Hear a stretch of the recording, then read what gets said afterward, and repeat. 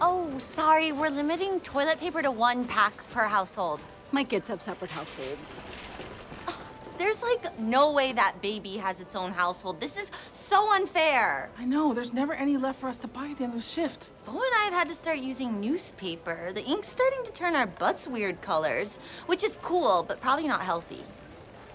What if we set a pack aside somewhere, out of sight, then at the end of the day, we split it? Oh man, we totally should. And it's not like we're stealing, we're still gonna pay for it. Of course. You know what? Maybe we should also put aside some dinosaur mac and cheese.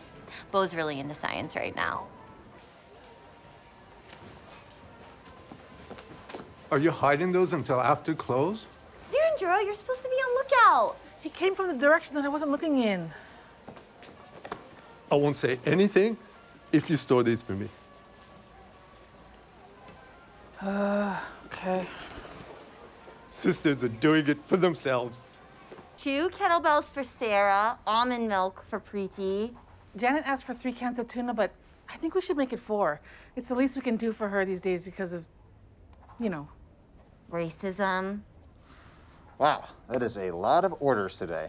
Yeah, well, ever since Saeed blabbed his mouth to everyone about it, they keep asking us to hide things for them. Okay, but big news of the day.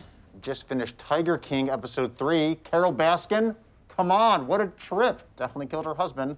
Let's get into it. Yeah, sorry, that was like early pandemic.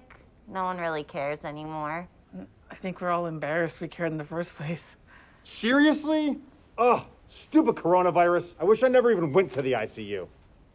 But I have a medical condition. Hey, what seems to be the problem here? This man is harassing me, telling me that I have to wear that mask. I am only trying to keep you safe. Ma'am, listen, you need to put on the mask or you will be escorted out of the store. This is America, okay?